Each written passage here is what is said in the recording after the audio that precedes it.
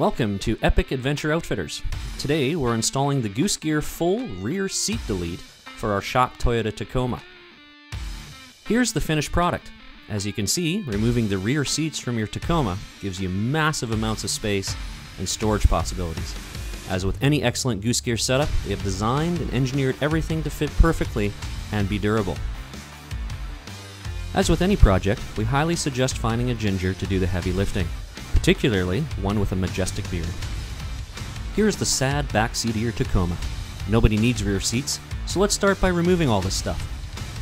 To begin the seat removal, fold the seat bottoms forward and the seat backs down.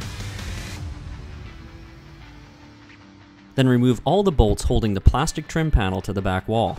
This will allow you to remove the plastic trim panel from the vehicle.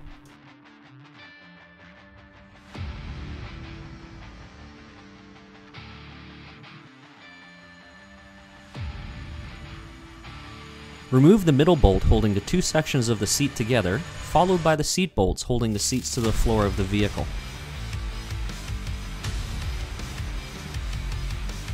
Remove the seat backs from the vehicle. You can then remove the seat belt bolts.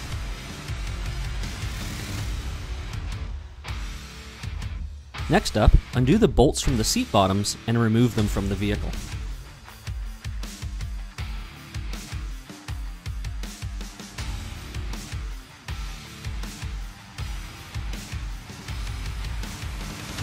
Using a separator or a flathead screwdriver, pop all the plastic snaps holding the storage bin to the floor. With the seats and storage bin removed from the vehicle, now is a great time to vacuum the interior space. As the Goose Gear platform will use the holes from the stock storage bin, find the outer two holes and cut away the carpet to expose them.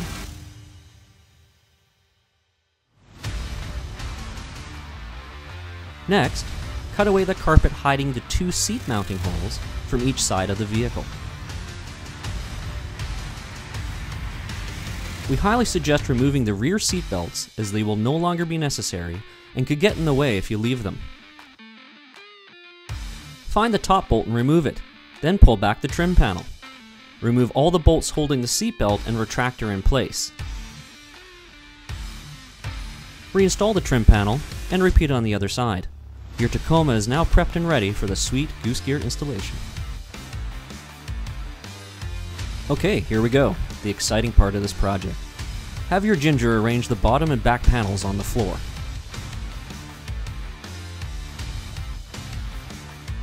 Find the two platform support boards and loosen the bolts.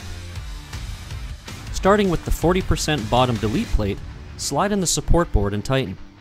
Don't over tighten bolts, Remember, this is wood you're working with. Find two of the fancy L brackets and connect them to the 40% bottom plate as shown.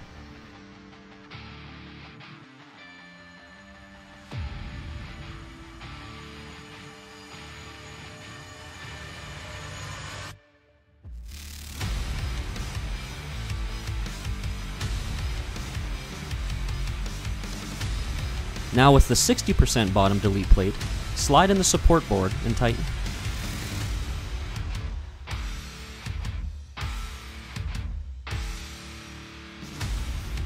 Find the remaining three L brackets and connect them to the 60% bottom plate as shown.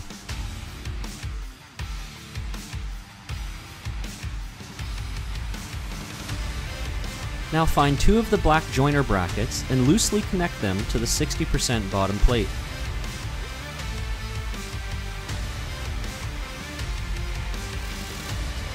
Move the 60% plate into the vehicle. It should fit perfectly flat.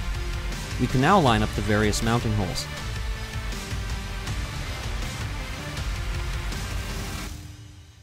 Locate the provided hardware as shown. Loosely fasten the four bottom plate mid holes, which will line up with the holes from the stock storage bin.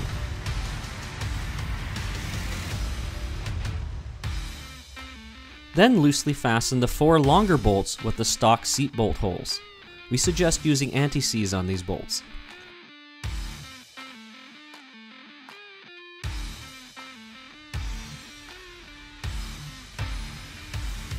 Next up, move the 40% plate into the vehicle.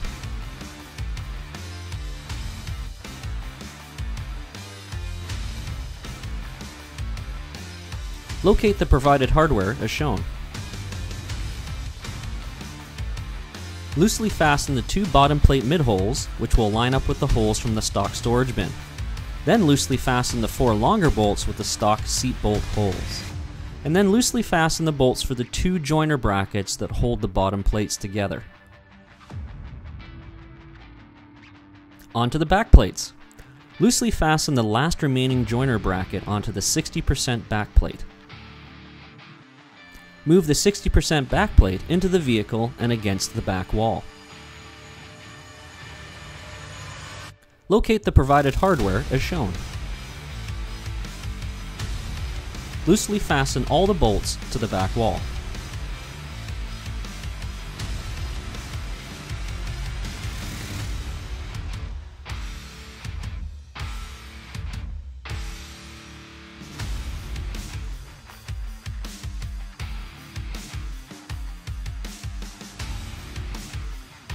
Now move the 40% backplate into the vehicle and against the back wall.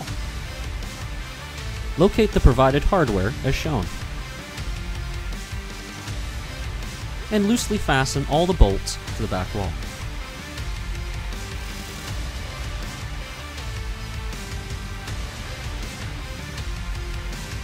Double check that both the bottom and back plates are all lined up perfectly, and then get busy tightening all the bolts. As you're almost done this awesome project, we know your excitement level is off the charts, so please be careful to not over tighten. We highly suggest using hand tools. Only use power tools if you are a ginger with fine finger dexterity. An important point. If you have a stock subwoofer, you do not need the 60% back wall plate. Further, the back wall plates are not necessary if you don't want them. And finally, find the four bottom plate access doors and install them. As an added touch, we installed wiring for a fridge underneath the bottom 40% panel. Goose Gear also have available drawer modules for this particular setup. See their website for details. Thanks for watching, and if you have any questions, feel free to reach out to our team at Epic. Peace.